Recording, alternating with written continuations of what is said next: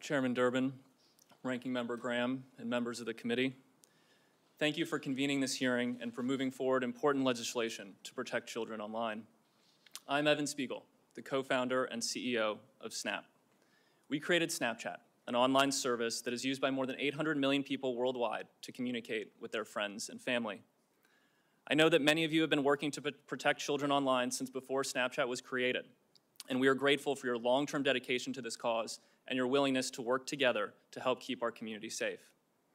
I want to acknowledge the survivors of online harms and the families who are here today who have suffered the loss of a loved one. Words cannot begin to express the profound sorrow I feel that a service we designed to bring people happiness and joy has been abused to cause harm. I want to be clear that we understand our responsibility to keep our community safe. I also want to recognize the many families who have worked to raise awareness on these issues, pushed for change, and collaborated with lawmakers on important legislation like the Cooper Davis Act, which can help save lives.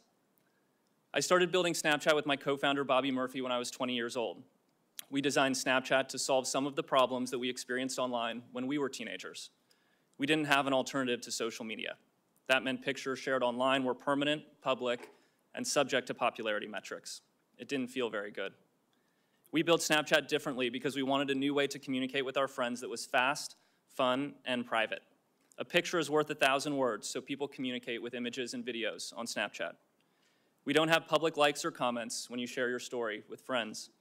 Snapchat is private by default, meaning that people need to opt in to add friends and choose who can contact them. When we built Snapchat, we chose to have the images and videos sent through our service delete by default. Unlike prior generations who've enjoyed, like prior generations who've enjoyed the privacy afforded by phone calls, which aren't recorded, our generation has benefited from the ability to share moments through Snapchat that may not be picture perfect, but instead convey emotion without permanence. Even though Snapchat messages are deleted by default, we let everyone know that images and videos can be saved by the recipient. When we take action on illegal or potentially harmful content, we also retain the evidence for an extended period, which allows us to support law enforcement and hold criminals accountable. To help prevent the spread of harmful content on Snapchat, we approve the content that is recommended on our service using a combination of automated processes and human review. We apply our content rules consistently and fairly across all accounts. We run samples of our enforcement actions through quality assurance to verify that we're getting it right.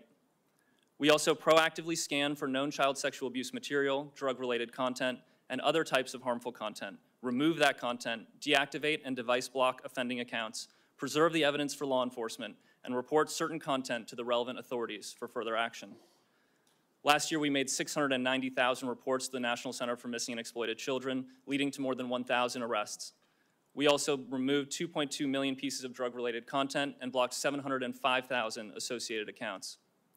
Even with our strict privacy settings, content moderation efforts, proactive detection, and law enforcement collaboration, bad things can still happen when people use online services. That's why we believe that people under the age of 13 are not ready to communicate on Snapchat. We strongly encourage parents to use the device-level parental controls on iPhone and Android, we use them in our own household, and my wife approves every app that our 13-year-old downloads. For parents who want more visibility and control, we built Family Center in Snapchat, where you can view who your teen is talking to, review privacy settings, and set content limits. We have worked for years with members of the committee on legislation like the Kids Online Safety Act and the Cooper Davis Act, which we are proud to support. I want to encourage broader industry support for legislation protecting children online. No legislation is perfect, but some rules of the road are better than none. Much of the work that we do to protect people that use our service would not be possible without the support of our partners across the industry, government, nonprofit organizations, NGOs, and in particular law enforcement and the first responders who have committed their lives to helping keep people safe. I am profoundly grateful for the extraordinary efforts across our country and around the world to prevent criminals from using online services to perpetrate their crimes. I feel an overwhelming sense of gratitude for the opportunities that this country has afforded me and my family. I feel a deep obligation to give back and to make a positive difference, and I am grateful to be here today as part of this vitally important democratic process. Members of the committee, I give you my commitment that we will be part of the solution for online safety. We will be honest about our shortcomings, and we will work continuously to improve. Thank you, and I look forward to answering your questions.